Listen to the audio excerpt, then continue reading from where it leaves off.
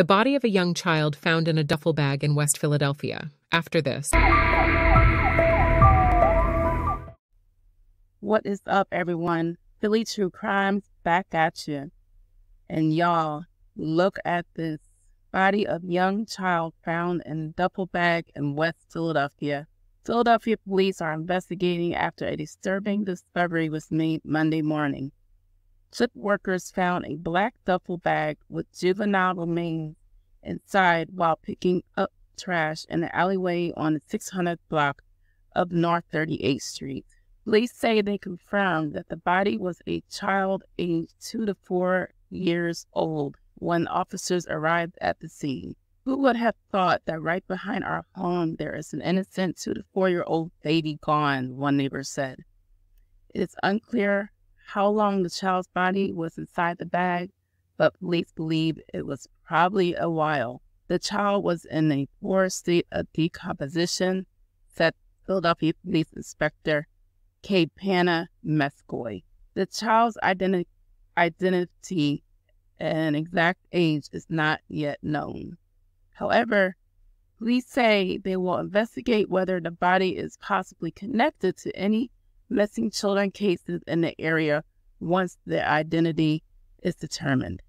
The discovery of a body occurred just blocks from the 3800 block of Reno Street, where back in January, police said they executed a search warrant in connection to a missing four year old boy identified by family members as Damari Carter. Although Damari's body was never found, investigators say they charged Carter's mother, 28 year old Dominique Bailey, and 30 year old Kevin Spencer with his murder, along with other charges. Damari's cousin told Fox 29 Monday that they are still waiting to hear from investigators to find out if the body found belongs to the four year old. The city's homicide department, special victims unit, and medical examiner are all currently investigating. Wow. Imagine if it's that um, little boy, Damari. Wow. Let's take a quick look at the video. Uh, in that community today, this is extremely upsetting. Many of the parents themselves we do know that investigators are continuing to review surveillance video, and they're not ruling out the possibility that this could be the body of a missing child. Oh my goodness. That's their baby. Devastated neighbors huddled close together as Philadelphia police swarmed the lot at 614 at North 38th Street. Behind the fence, police say two community life improvement program workers, known as CLIP, while cleaning trash, discovered a duffel bag and a child's body inside just before 10 a.m. Ariel Williams says the worker that made the discovery was emotional. I was like, uh, I just feel bad. I'm sorry they killed it. Apparently, the child was in the post-dated position, so was felt that while. Homicide and special victims investigators responded to the block along with the medical examiner to determine how and when the child died. Neighbor Stephen Tamba gave police access to his window camera, which pointed towards the lot. The fact that it's a, a child makes me sick. It really